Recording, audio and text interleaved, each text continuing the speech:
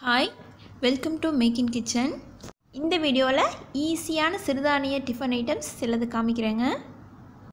இது நம்ம அரைச்சி வச்ச ராகி மாவுங்க இது ஆல்ரெடி வந்து உங்களுக்கு ஒரு வீடியோ போட்டிருக்கேன்.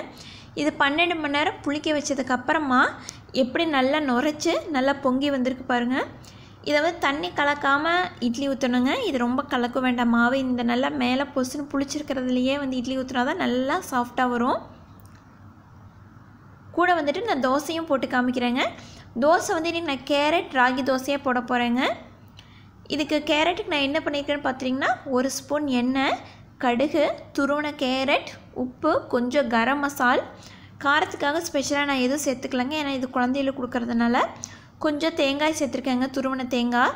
இதை வந்து அரை வேக்காடு அளவுக்கு கொஞ்சம் எண்ணெயில் நார்மல் பொரியல் செய்கிற மாதிரியே வறுத்துட்டு இதை மேலால் இப்படி சேர்த்துக்கோங்க. ஏன்னா வந்து இன்னும் ஒரு ஒரு நிமிஷம் இந்த கேரட்டு தோசை மேலே வேகிறதுனால இது ஃபுல்லாக வெந்துடும் இந்த கேரட்டு இது கரம் மசால் ஃப்ளேவரில் இருக்கிறதுனால இது ஒரு ரெஸ்டாரண்ட்னு புதுசாக சாப்பிட்ற ஒரு தோசை ஃபீல் வருதுங்க. கண்டிப்பாக நீங்கள் ட்ரை பண்ணி பாருங்கள்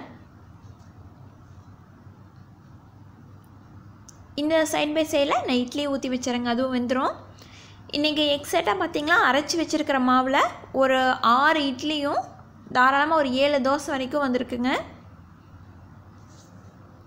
ஒன்ஸ் மாவு எடுத்து வெளியில் வச்சிட்டிங்கன்னா ஃபுல்லாக ஊற்றி முடிச்சிருங்க. திருப்பி வந்து ஃப்ரிட்ஜுக்குள்ளே வச்சிங்க நல்லா இருக்காது.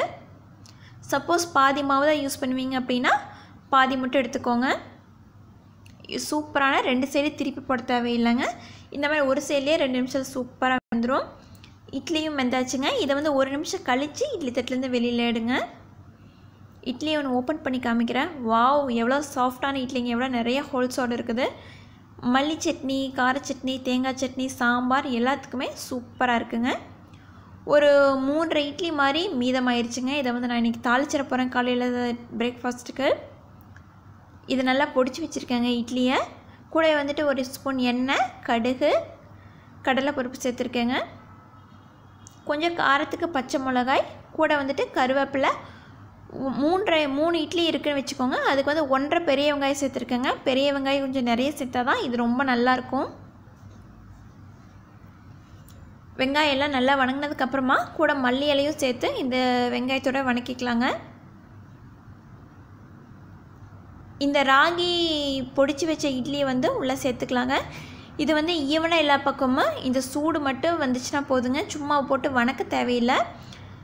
இது ஒரு புது ஒரு ஃப்ளேவருங்க சூப்பரான ராகி இட்லி உப்புமா ரெடி இது வந்து குதிரவாளி அரிசியில் அரைச்ச மாவுங்க. உங்களுக்கு இந்த மாவு எப்படி அரைக்காதுன்னு கூட ஆல்ரெடி இதுக்கு முன்னாடி ஒரு வீடியோ போட்டிருக்கேன். இதுவும் நல்லா எப்படி பன்னெண்டு மணி நேரம் புளிக்க வச்சதுக்கப்புறமா எப்படி நுரைச்சி வந்திருக்கு பாருங்கள் இது இட்லி சூப்பராக வருங்க.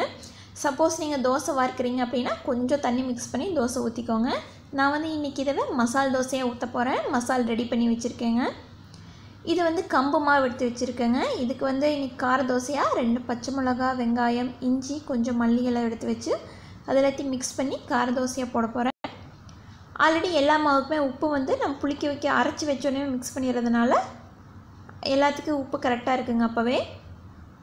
இதுவும் வந்து ரெண்டு நிமிஷத்தில் இந்த தோசை வெந்து முடிச்சிடுங்க இது வெந்ததுக்கப்புறமா மசால் சேர்த்துக்கலாம்.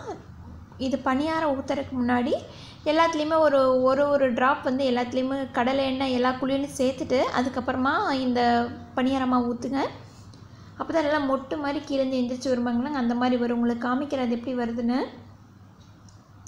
தோசை வெந்தாச்சுங்க. இன்றைக்கி சூப்பரான மசால் தோசை. நான் டிஃபனுக்கு கொடுத்துட்டு போகிறேன் கூட வந்து பட்டாணி எல்லாம் போட்டு கொஞ்சம் நல்லாவே நல்லா கொஞ்சம் ஸ்பைஸியாகவும் நல்ல மனமாகவும் இருக்குங்க.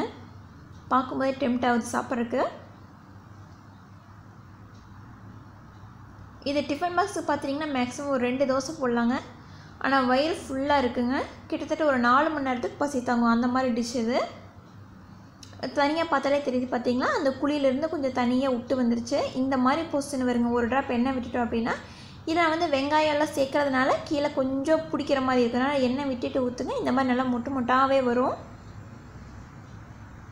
இது எல்லா மாவுலேயுமே பணியாரம் இது மாதிரி செ செஞ்சு பாருங்கள் சூப்பராக வருங்க இந்த குழி பணியாரம்.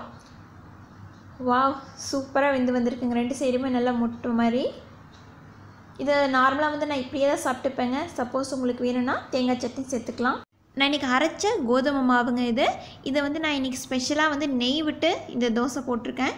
இந்த கோதுமையோட வலுவலுப்பே சுத்தமாக இல்லாமல் நல்லா முருகலாக வருங்க. இதை வந்து கூட ஒரு சாம்பார் சாம்பார் சூடான சாம்பார் வச்சு தொட்டு சாப்பிடுங்க. சூப்பரான டேஸ்ட்டாக இருக்கும். இது எல்லா டிஷ்ஷஸுமே ரொம்ப யூஸ்ஃபுல்லாகவும் ரொம்ப பிடிச்சிருக்குன்னு நினைக்கிறேங்க. ஈஸியான டிஃபன் ஐட்டம்ஸ் இன்னும் வரப்போகிற வீக்ஸில் உங்களுக்கு காமிக்கிறேன். இந்த வீடியோ உங்களுக்கு பிடிச்சிருந்தா மேக் இன் கிச்சனுக்கு சப்ஸ்கிரைப் பண்ணுங்கள் தேங்க்யூ